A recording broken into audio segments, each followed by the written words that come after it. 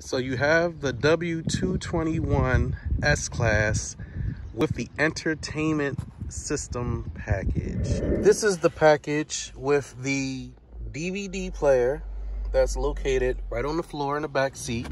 And you also have these screens in the back seat.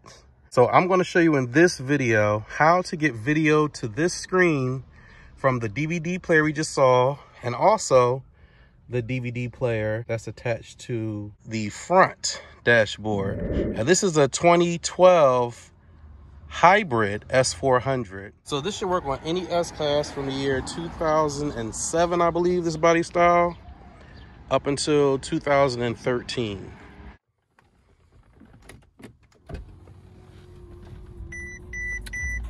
So first thing we're gonna do is you want to go to your command center here and you want to choose your video source. Now, in this S-Class, right here you have the hidden compartment of your CD MP3 player. And you have a six disc changer in here. So once the video begins to play, the first thing you want to do is you want to push on your little mouse right there to bring up the menu. And then you want to scroll with the mouse over to where it says DVD-V and click it. Now you're going to bring up this menu and you want to activate right here, active source for rear and click that.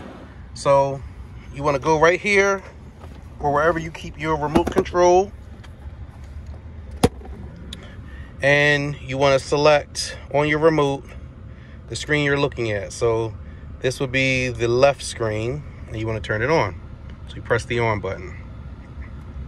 Now because we synced up the front image to the back already, when it comes on, the image is automatically going to be on this screen. How do we get the DVD down at the bottom of the car to play on these screens back here in the back seat? And just to let you know, the DVD in the bottom of the car in the back seat does not attach to the front screen. It only attaches to these rear screens. So what you want to do is you want to select the screen that you're looking at. So in this case, we're looking at the rear, the right, uh, left rear, and you want to press the OK button. Now you can actually control this menu as well using this this remote. So we can go to the DVD video which is playing or you can go up to the command that's playing. What we want to do here is go over to disk and press OK. Now see it says no disk. That's how you get the disc that's down here on the floor right by the back seat. So once we put a disc in there, then we will see the display on the screen. So now we have the front screen playing we have the disc here and we have the front screen plan on this. And we also can do the same with this screen as well. Switch it over to the right side. You're gonna press okay. We're gonna go up to disc, press okay.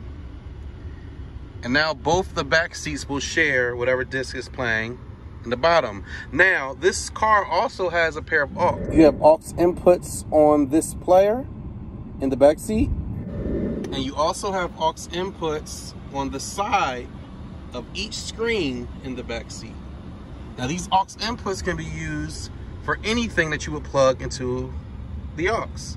So for example, I have here this little Nintendo Mini. So how can we get this to play on the screen? Now this particular Nintendo Mini has uh, the auxiliary outputs as well as the DC outputs which is the power that you would plug in. Now, thankfully, Mercedes actually has a power supply where you push this right here and it exposes the 115 AC or 150 watt uh, power supply right here. So we're gonna take this power supply on the Nintendo and we're gonna plug it directly into 115 volt. And as you see, it lights up when you plug it in, and there we go, we have power. Now we need to get this image onto the screen.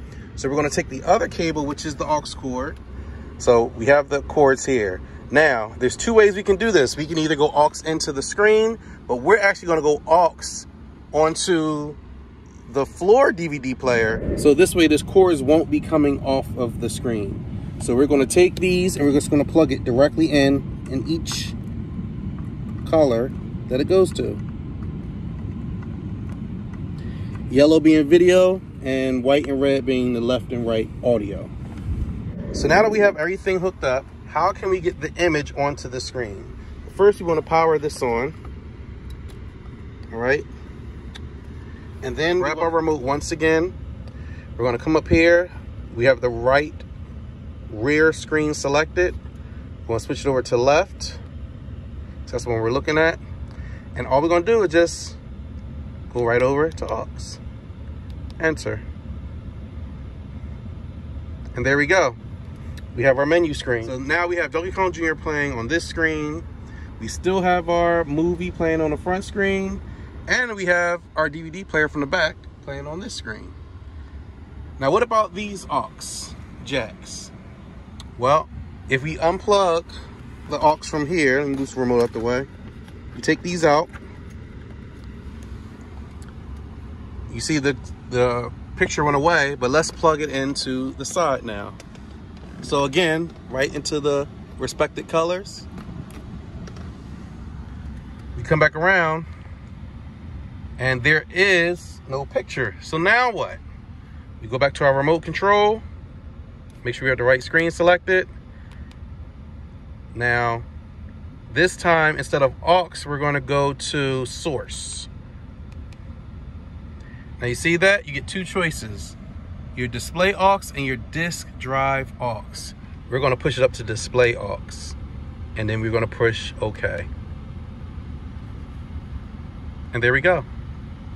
So I hope this video was helpful to somebody. I, I literally had to figure this out on my own. Um, nothing on YouTube or online was telling me how to do this, so I figured I'd make this video. Also, the instruction booklet wasn't really clear on how to do this. So if this video did help you out, please leave a like please subscribe leave a comment and i'll bring you more helpful content like this everybody have a great day enjoy your w221 thanks for watching